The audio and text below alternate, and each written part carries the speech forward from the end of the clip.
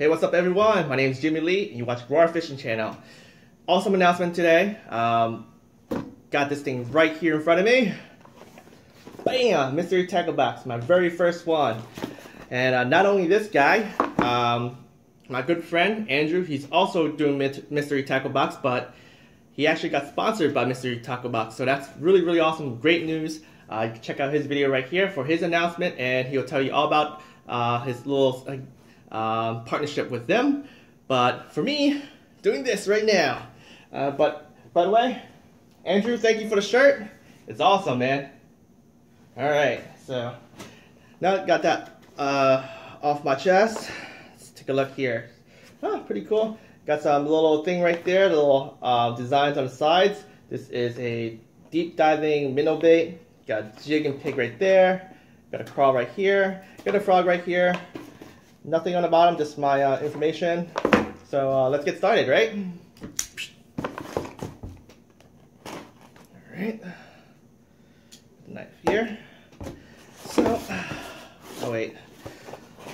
Yeah, I knew it. It says happy dance. That's the first thing it says. So, bam. Oh, oh yeah. Looking fly because it's Valentine's Day. But, alright. Boom. Crap. Alright, so this guy right here, for the nice card about your box. So just telling the auto price and how to use these lures. Oh, First one right here. Let's put this on the side. Look at this guy right here. Lucky Craft, the Fat CB BDS, the Big Daddy Strike. Oh, awesome. This is a three floating, yes, three uh, three feet, is it? Depth? Yep, three right here. Three inch, three feet. Uh, this is pretty cool. So I'm gonna use these guys when it starts uh, warming up. But this is a it says fall color, so it's really fall crawl. But um, my crayfish color is not really this color, but I know some places that may have this color. So definitely give it a shot. Uh, these guys can do some reaction strike when it hits the bottom and pick up some dirt and kick up some leaves and stuff like that. So can't wait to give this guy a uh, shot. So let's see what it says here. Lucky Craft the lip design and hook positions on a blah, blah, blah, blah. You guys don't need to read this. It could go through thick covers. Awesome. So I won't be snagging up with uh, with this, I hope. The hooks are definitely big, so I thought it would snag up on some stuff, but it says uh, shouldn't really um, uh, snag much. It's designed to come through the thickest cover, and it's $14.99. Damn, this guy right here is expensive. So it's like one box already. So uh, maybe I should just put the rest away and be like, nah, just kidding. Alright, so next thing right here is called Boo Teaser Rig. Boo Teaser Rig from Booyah. Alright, take a look at this. Looks like an umbrella, umbrella rig, but what's unique about this? Um, okay, I see what it is. So, give you guys a closer look.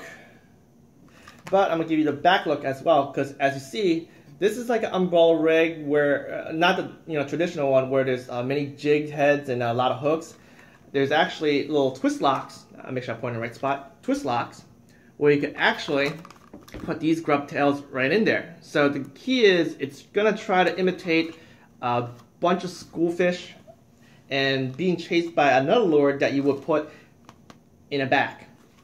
So um, yeah, so it says you can use this with crankbaits, jigs, or spinnerbaits. This thing is weighing at 3 8 ounce. Um, so yeah, I guess I'll see what I could do with this. Looking at this list of stuff right here, I'm not sure if I could use anything here besides uh, Lucky Craft. I don't know. I don't even know how that will work. Um, but definitely excited to give this a shot. If not, I'll just do the traditional. What I usually do with umbrella rigs, which is a, a lead jig head and a, either a grub tail or like a shad type of swim bait. It looks like a definitely want to put a bigger one in back because what you want to do is looks like a um, a big fish chasing a bunch of small bait, and the key is to make that reaction strike from another fish because you know if you see a fish uh, chasing other fish in your territory, you're gonna definitely want to hit that fish, I, I, and I think that's what this is trying to do. Uh, it, it, it, kicks up a, a territorial instinct uh, for a fish because they'll be like, "Hey, you can't be chasing my fish in my territory." Smash. So, all right. Sticker time. Alright, put that on my kayak. Dibble. Oh, this guy right here, $6.99. Pretty cool. Pretty cool. All right, the next one right here. Uh, it's not in the right order, but I will jump to this guy right here. Yo Mama Big Bite Baits. Doesn't say Yo Mama in here, does it? Alright, I know what these are. I'm opening these guys up, but it's a pack of five, two dollars each. It's basically a crawl and green pumpkin. I love the color already. It's perfect because I like using green pumpkin. But as you see, two paddle arms right here, and oh, they do have something. So it looks like there's a little weed guard right here, kind of, when you do your Texas rigging. Or uh, I don't use this uh, all the time for Texas rigging. Sometimes I use it on uh, jig and pig because it, it, does have a nice uh, action to it. But yeah, I do do uh, jig. Um, I'm sorry, Texas rigging with this, and I like to put like a small hook on it because this is definitely a small lure, and put very lightweight. Um, usually peg it. Uh, if not, I will Carolina rig it because I want it to small, fall slow so these arms can flutter, and does trigger a lot of good fish. I love pond fishing and I like using these in ponds. Uh, really, really awesome. So, put this guy's back right in here. Smell like plastic. Alright, the next one is Smallie Tube. Alright, so V&M Ultimate Bass and Bait. Super scented pork fat. Cooked. Ah, no, no, no, no more talking. Gotta do a whiff first.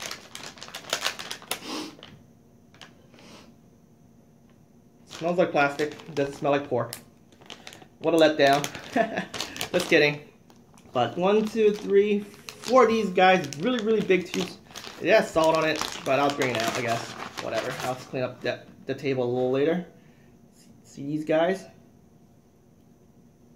Really nice, really nice. I like the color. I love green pumpkin, uh, and it has purple flakes on it and a lot of salt. But uh, yeah, uh, I got a lot of smallmouth up north where I am. I go to Spruce Run Reservoir a lot. Definitely want to fish these guys with um, like a jig, a jig head designed for tube bait so it flutters down really nice. Uh, you can you can swim it through the water column or let, let it kind of flutter down, jerk it, flutter down. Uh, says right here to you can hop it on the across the bottom as well. I never really hopped these guys across the bottom before. I usually use it kind of like swim swim and flutter. But uh, I'll definitely give this uh, these guys a shot. Four to a pack at two dollars and forty cents. All right, so it looks like I'm at the very last one. All right, so it's Mustad Big Mouth five quantity of five aught hooks. I love the color already. The color is really really nice. It's blood red, so it imitates like a injured fish when you use these hooks.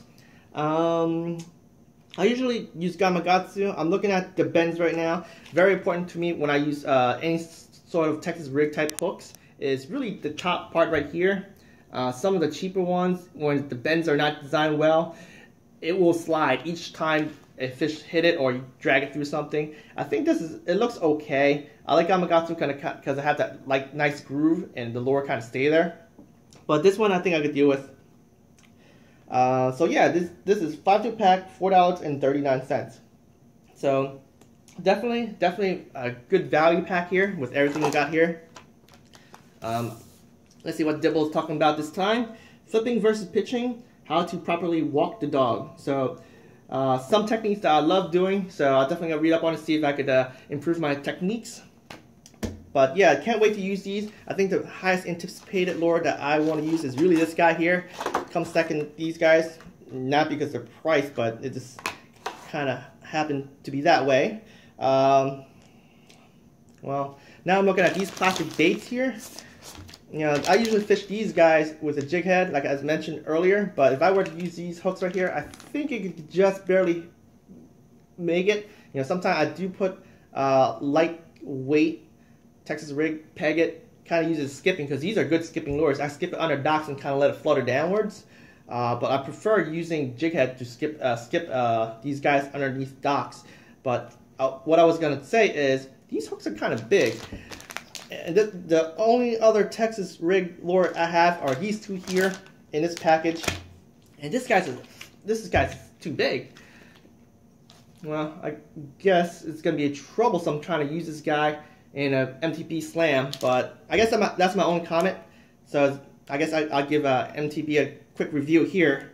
You know, it would probably be better if you guys gave a smaller size hook of these, so that we can actually use it, you know, with the lures all together. But now if I really want to, you know, complete slam, I just got to use this hook with another lure. I don't know if you consider that cheating or not, but as long as I use this hook right, it should be okay. You guys let me know in the comments below. But uh, I'm gonna go scratch my card right here. I don't really have a coin. Well, let's do this. Ooh, got a grub tail. Got a bobber. Got another grub tail. Maybe one more. Oh, got another bobber. Oh, snaps. This is gonna be, I'm probably gonna win this. Nope, got a crawfish. One last one. Uh, I got KVD. The, not that Kevin Van Dam, but yeah.